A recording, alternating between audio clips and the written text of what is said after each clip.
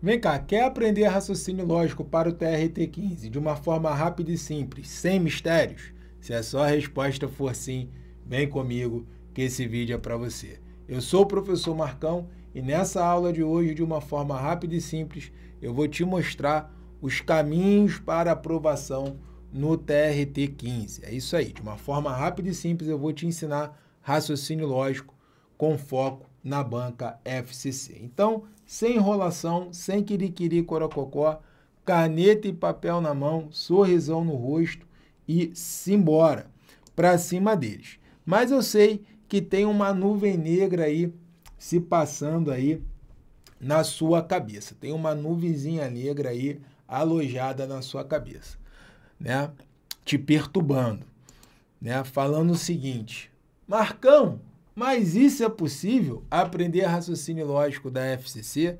Família, é totalmente possível. Desde que você siga a nossa metodologia de ensino, desde que você siga o método MPP, como a nossa aluna Gabriela seguiu e teve esse resultado estupendo. Olha só que resultado magnífico que essa aluna teve. Ó. Eu sempre tive problemas em entender as questões de matemática e raciocínio lógico.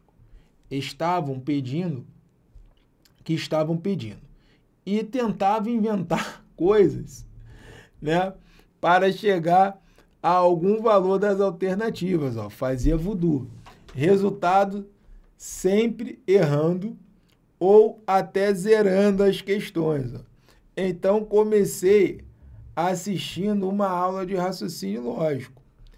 Achei tão incrível simples que minha mente deu aquele boom.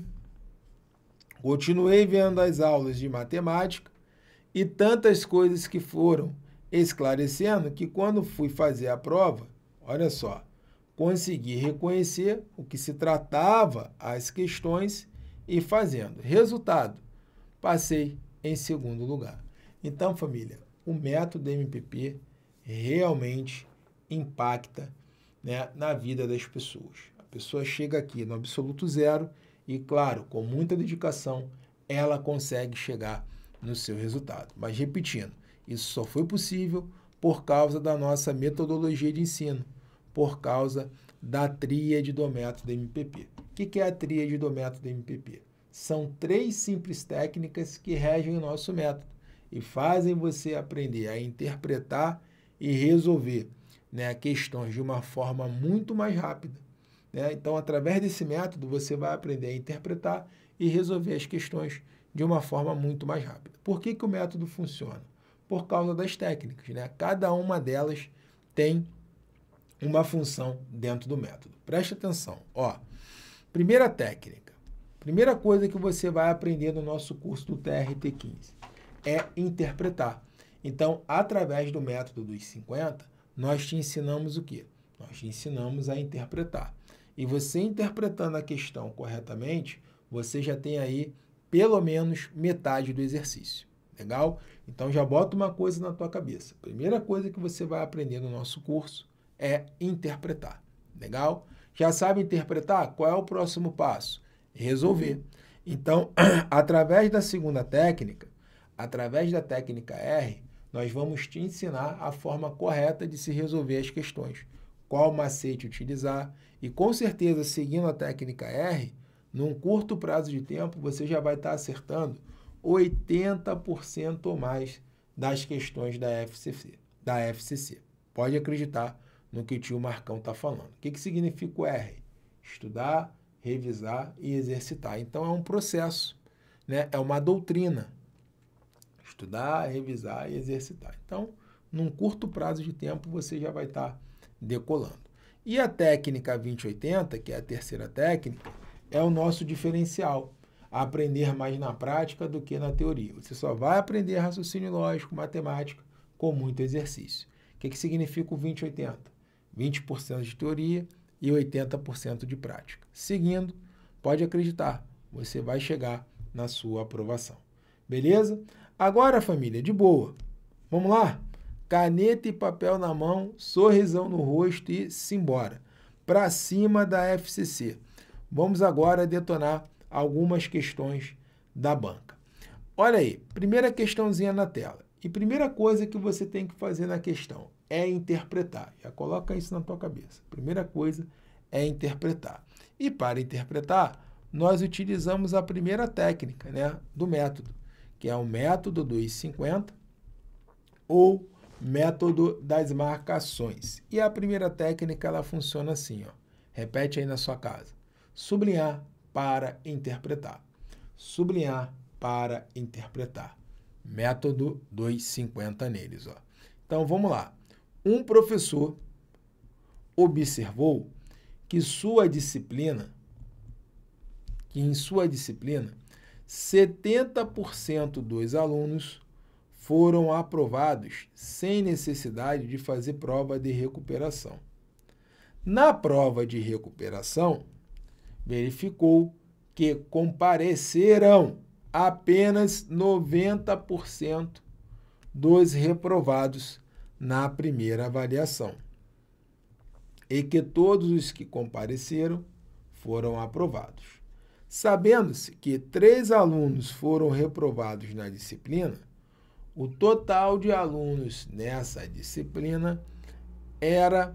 Então vamos lá, família. Pela linguagem matemática, né? Aqui, ó, a ideia do porcento, ó, 70%, 90%, né? Eu sempre brinco com os alunos, né? Nas aulas. A questão fala, né? Então, pela linguagem matemática, ideia do porcento, essa é uma questão, né? Uma questãozinha clássica de porcentagem. Né? Então, pela linguagem, porcentagem. E o que, que ele está querendo? Ele está querendo o total de alunos na disciplina. Então, já interpretei. Então, já tenho aí pelo menos a metade da questão, meio caminho andado. Já interpretei, já sei o assunto e já sei o que o problema está pedindo. Qual é o próximo passo? Resolver. Técnica R. Como resolver? Para resolver essa questão, vamos aplicar a técnica da ramificação. O que, que seria isso, Marcão? Ramificação, método RAM. Né? RAM de ramificação. Ramificar para organizar. Então, quando você se deparar com uma questão de porcentagem com muitas informações, tá? Sempre que você se deparar com uma questão de porcentagem com muitas informações, você vai lembrar da ramificação. Então, ramificar para organizar. Então, o total vale sempre quanto? 100%. Então, aí eu vou ramificar. Ó. Ó, ramificar para organizar. Ó. Simples assim. Ó. Ramificar para organizar. Aí, o que, que ele fala lá no início da questão? Né? Que uma galera foi aprovada e uma galera ficou de recuperação. Né? Ó, temos aqui a galera aprovada. Ó, galera aprovada e a galera né, de recuperação. Esse R aqui é de recuperação. Né? O professor né, da disciplina observou isso, que teve uma galera aprovada e uma galera que ficou de recuperação. Ó, 70% né, foi aprovado. Pô, se 70% foi aprovado, qual é o percentual da galera que ficou de recuperação? 30%. Então, nessa primeira fase, né, eu já sei que 30, né, moscaram aí. Né, moscaram aí. Ficou 30% de recuperação. Agora, dessa galera que ficou de recuperação, ó, ramificar, ó, para organizar. Dessa galera que ficou de recuperação, 90% foi aprovado. Ó, vou até colocar de outra cor. 90% foi aprovado. Então, 90% desses 30% foi reprovado. Né? Então, qual é o percentual da galera que ficou reprovada? Né? Aí você vai fazer a continha. Pô, se 90% de 30% ficou reprovado, então 10% de 30%.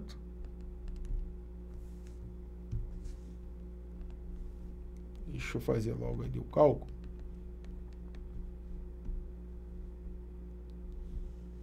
Deu chabum aqui na caneta. então, 90%, deixa eu fazer aqui esse primeiro cálculo para não bugar a tua cabeça. Ó. 90% dos reprovados. Então, é 90% de 30%. Não é isso? É esse cálculo que eu tenho que fazer. Então, 90% de 30%. Então, qual é o percentual de aprovados? Ó, vou cortar aqui, ó, tchuk, tchuk. Como é que eu faço essa conta? Corta dois zeros e multiplico o que sobrou. 9 vezes 3, 27. Então, 27% foi aprovado.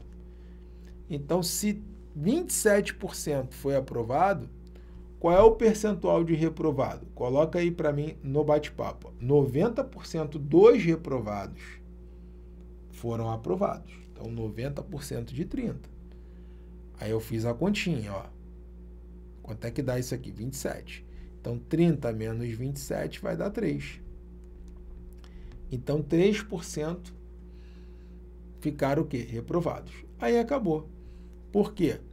Eu já sei que três alunos ficaram reprovados na disciplina, então vou fazer aqui a regrinha de 3. Ó. 3% corresponde a 3 e 100% corresponde a x. Ó. Cruzou, tchuk, tchuk, multiplicou. Então, 3x igual a 300. x vai ser igual a 300 divididos por 3, que vai dar 100. Então, gabarito, letra B. Deu uma bugada ali na caneta, mas conseguimos aí finalizar a primeira questão. Legal? Então, primeira questãozinha de porcentagem, passamos para a próxima questão. Só FCC, só essa área, né, relacionadas aí a tribunais, defensoria pública, só para você sentir aí como vai ser a sua provinha. Então, vamos lá, deixa eu voltar aqui para o meu cantinho. Próxima questão na tela e você já sabe, né? Sublinhar para interpretar. Método 250 neles. Certa quantidade de ração é suficiente para alimentar 15 cachorros em um canil durante oito dias. Considerando que o canil recebeu mais 5, e que cada um consuma a mesma média diária de ração consumida pelos 15, então o total de ração que havia no canil seria suficiente para alimentar os 20 cachorros, no máximo. Então, pelas características da questão, né? Ele está comparando ali grandezas. Essa é uma questão de regra de três. Então, sempre que ele comparar grandezas e pedir né, para você encontrar uma delas, probleminha de regra de três. Legal? É uma questãozinha de regra de três. Como resolver? Técnica R. Como resolver uma questãozinha de regra de três? Vamos utilizar aqui a regra dos sinais. Tá legal? Regra de três simples. Qual é o bizu? Regra dos sinais. Como é que eu sei que é regra de três simples? Porque estamos comparando apenas duas grandezas. Então, sempre que a comparação for entre duas grandezas, é simples. Passou de duas, composta. Beleza? Então, na hora que você montar o problema, você vai ver, né? Tem apenas duas grandezas. Pô, como é que eu sei, Marcão? Pela quantidade de colunas. Se liga na quantidade de colunas. Ó. Vou montar aqui a regra de 3. Ó. 15 cachorros né, tem ração para o quê? Oito dias. 20 cachorros teria ração para quantos dias? Não sei. Ó, duas colunas. Então é simples. Se é simples, eu tenho que usar a regra dos sinais. Legal? Como é que funciona a regra dos sinais? Ó, é muito fácil. Se os sinais forem iguais, multiplica cruzado. Se os sinais forem diferentes, multiplica em linha. Vamos lá para você entender. Ó, agora eu não tenho 15, eu tenho 20. 20 animais. Então eu tenho mais animais se alimentando. Se eu tenho mais animais se alimentando, pergunto, chegou a hora de você participar. A comida vai durar mais ou menos tempo? Pô, Marcão, com certeza menos tempo. Pô, tenho mais animais. Então vai durar mais ou menos? Menos. Aí você vai olhar, os sinais são iguais ou diferentes? Diferentes. Se os sinais são diferentes, você vai multiplicar em linha. Aí olha como é fácil. Ó. Você vai multiplicar os caras de baixo, ó, 20 vezes x, e vai igualar a multiplicação dos caras de cima. Ó, você vai multiplicar em linha. 20x é igual a 120. Ó, vral, vral. x vai ser igual a 12 divididos por 6. 12 divididos por 6. 6 é o resultado, cabeção. 12 divididos por 2. x vai ser igual a 6.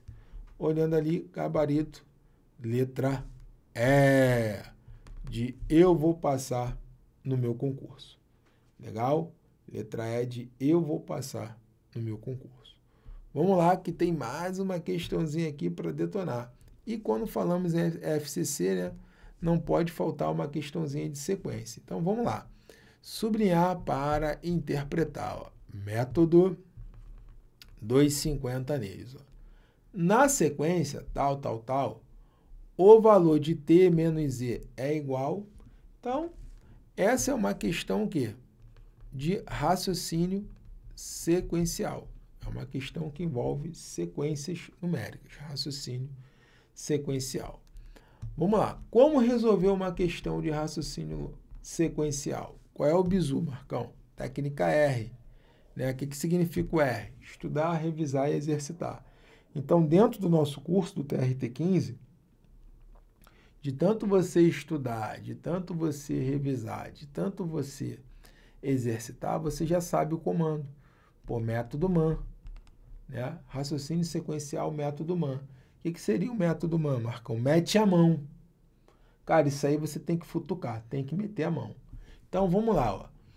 Meter a mão é você verificar ali, ó, né, de forma muito intuitiva o que está acontecendo de um número para o outro, né? Ó, vou tentar aqui, ó, como recurso matemático, vou tentar aqui operações básicas, ó. Começa no sapatinho, ó. 3 para o 5, aumentou 2. 5 por 8, aumentou 3. Ó. 8 por 8 para o 12, aumentou 4. Opa! E do 12 para o 4, diminuiu 8. Pô, encontrei uma parada aqui. Né? Vamos lá, vamos ver se vai dar match. Ó. 4 por 6, aumentou 2. 3. 4, opa, 13 por 5 diminuiu 8. Deu match. Deu match. Ó, 5 por 7, eu encontrei a lei de formação. Ó. 2. 7 por 10. Vai dar 3. 10 por 4, 14. Vai dar 4. 14 por 6 diminuiu 8. Encontrei o padrão. Agora vamos lá, hein? continua aí já coloca a resposta. Eu vou dar um tempinho para você finalizar. Ó. Já tem um padrão. Agora finaliza aí. Ó. Ele quer T menos Z. Quanto é que dá T menos Z? Vamos lá, escrivão.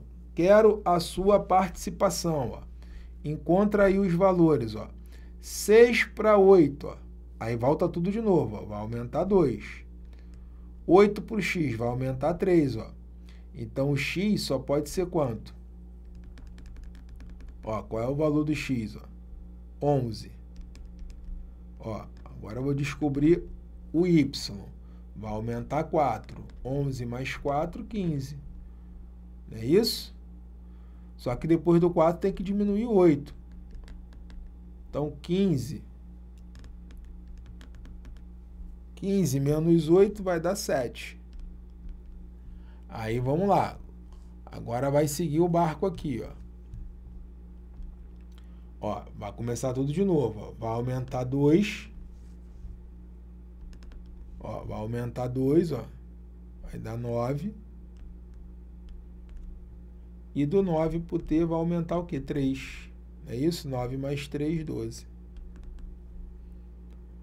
Então, encontrei os caras. Como ele quer t menos z, vai ser 12 menos 7. É isso? 12 menos 7. Quanto é que dá 12 menos 7, cabeção? Vai dar 5. É isso? Gabarito letra D de deu certo, Marcão. Eu entendi essa bagaça. E finalizamos aqui mais uma aulinha para o TRT15. Né? Finalizamos aqui mais uma aulinha.